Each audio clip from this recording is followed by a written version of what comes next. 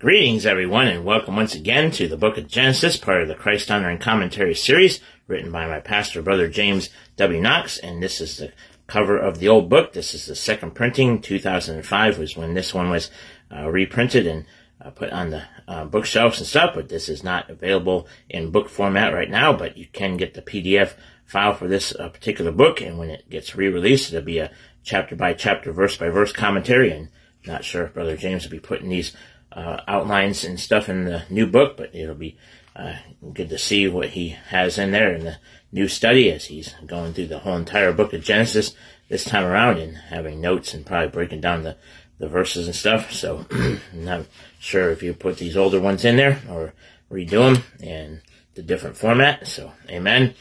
All right. So this is a devotional type of commentary when it was first released. The only one that Brother James ever done it in this type of um, style here. And so different topics and outlines throughout the uh, year. And we've come to the second day on this topic of Joseph and Potiphar, September 18th. And we'll read this here. It's only one page long. It's 334 in the book. So we started that yesterday. So if you missed the first one, you can go back and watch the first one there. If you missed any of these, you can go on the YouTube channel and watch those, and I'll give you the information at the end of the broadcast. So um, before we get started, I'd like to greet you as always in the name of our Lord and Savior Jesus Christ, who is the Lamb of God, which taketh away the sin of the world, and he too can be your Lord and Savior today if he's not already.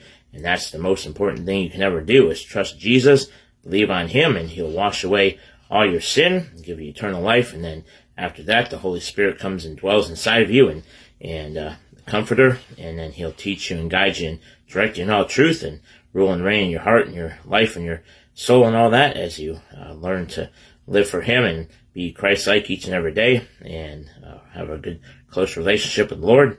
And so that all happens after you get saved. Amen. And so let's go ahead now and get into today's topic for September 18th, titled Joseph and Potiphar Part 2. And it says here, his master, verse 2.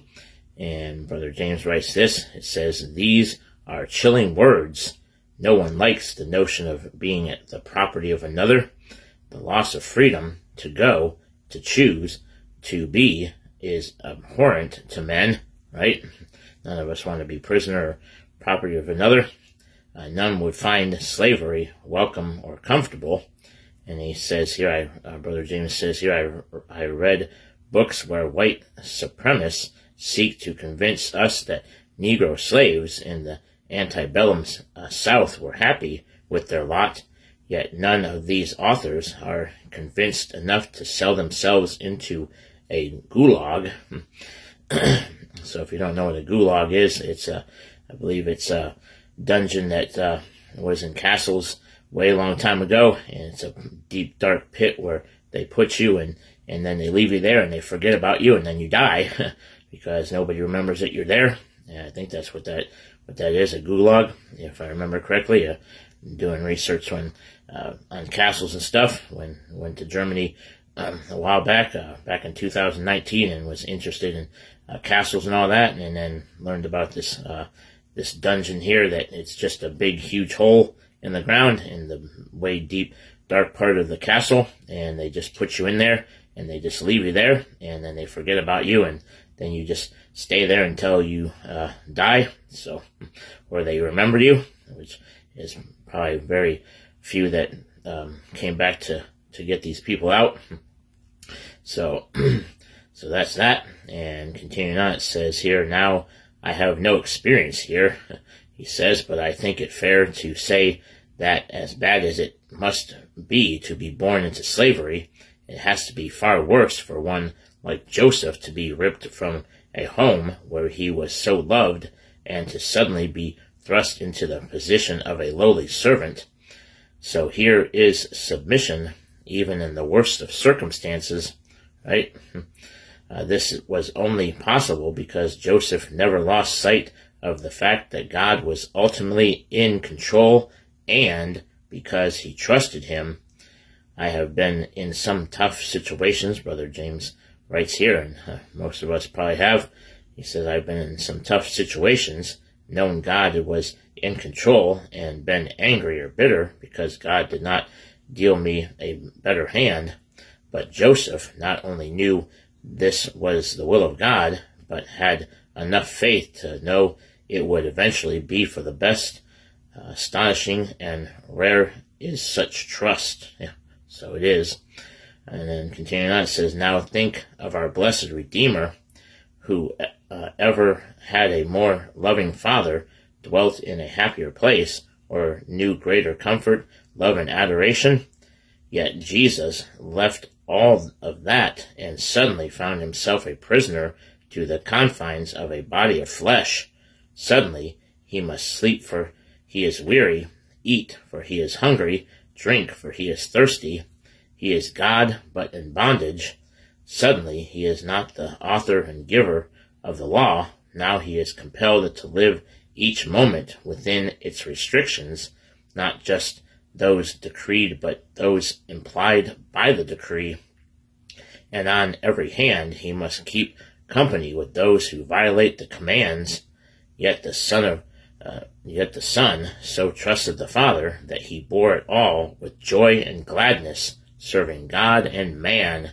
Hallelujah! So praise the Lord that he came down here to do that and to die for our sins and, and be uh, buried and rise again the third day that he would come down here and uh, give up all that stuff to be a prisoner in this body of in a body of flesh and to dwell among us and and all that and then go to the cross and take the whole world's sin on his body so what what a redeemer amen so that is uh, the end of part two of joseph and potiphar and tomorrow will be part three joseph and potiphar part three man's environment so that'll be the topic for tomorrow for the 19th and then the 20th, we have uh, part 4 on Joseph and Potiphar.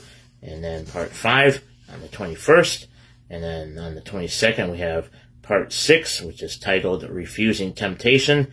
And then on the 23rd is the final part of this topic on Joseph and Potiphar. And then on the 24th, we have Joseph as Christ in Genesis 39. So that'll be that message there. And then on the 25th, and 26th, we have another set of dreams and then interpretation. So that'll be the topics for the next week or so. So, amen. All right, so that's it for today's uh, uh, broadcast about um, Joseph and Potiphar, part two. And this is from the book of Genesis uh, commentary series, the Christ honoring commentary series here by Brother James. And you can get uh, most of his books in print format at www.jameswknox.org or go straight to the store part of the website, which is store.jameswknox.org and look up the books there. And then also this one PDF file for this particular book.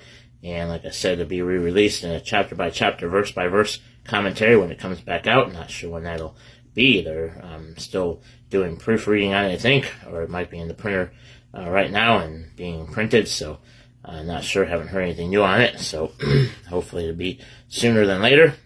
And so that's that information. And there's also um, sermons that you can listen to or watch, and that's video and audio format that you can find on the um, church website. And then the YouTube channel is James Knox Sermons YouTube channel to watch the video presentations of the sermons from Brother James and other men that teach and preach through the Word of God. And then uh, the um, radio broadcast that he does, where he's been reading through the book of James and teaching through that book. And so, amen. And then if you want to watch the um, Baptist Bread and Scripture Song broadcast, and then this broadcast, any of them you might have missed, they're available either to watch on Facebook, if you're friends with me on Facebook, or the YouTube channel, which is Ambassador for Christ Broadcasting, or typing in Baptist Bread Broadcast and look me up that way, and like and subscribe and hit that notification bell so you know when I'm posting these up on the YouTube channel.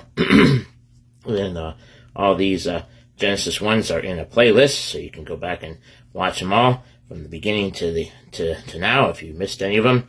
So, amen. Good good topics to uh, go through, and then start a lengthier study if you want to do that. So this is just kind of an outline to get you started on a lengthier study study of your own. So, amen. All right, so that is the end of today's broadcast. So uh, thanks for watching, and may the Lord richly bless you until next time. Bye bye for now.